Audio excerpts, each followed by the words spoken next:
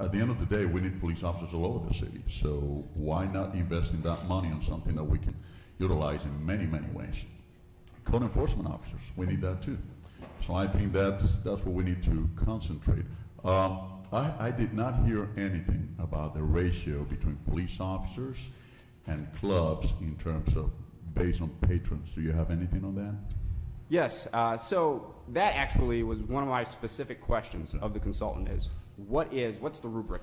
What's the right metric, if you will, uh, between patrons and effectively the right amount of security?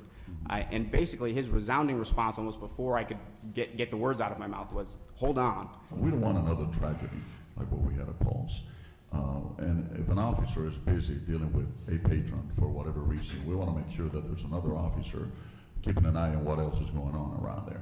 So I think we should establish some sort of matrix or some sort of uh, legislation or something where we would have at least a minimum of X amount of police officers, depending on the amount of patrons that you receive at your establishment. Sure, we can continue to look at that component. The other, the other challenge, I don't know, I saw Dave kind of come up behind me. Uh, did you want to talk about the number in that context?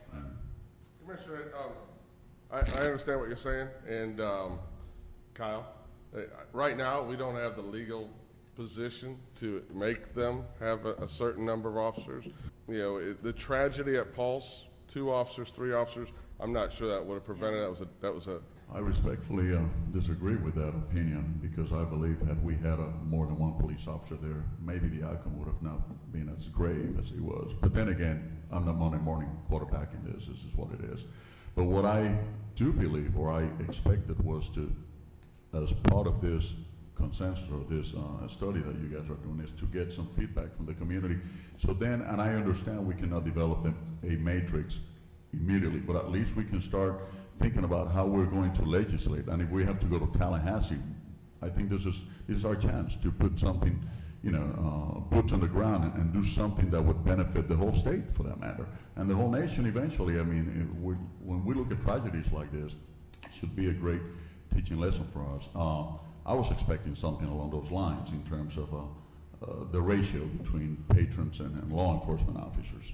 We, we did discuss it, and the input from our stakeholders was they did not want to be further regulated. They did not want to be a permit, an after-hours permit. They did not want to be told they have to spend more money on a police officer. They, and, and we did explore it. It was one of the things we looked at. That really scares me. We need to do something about that.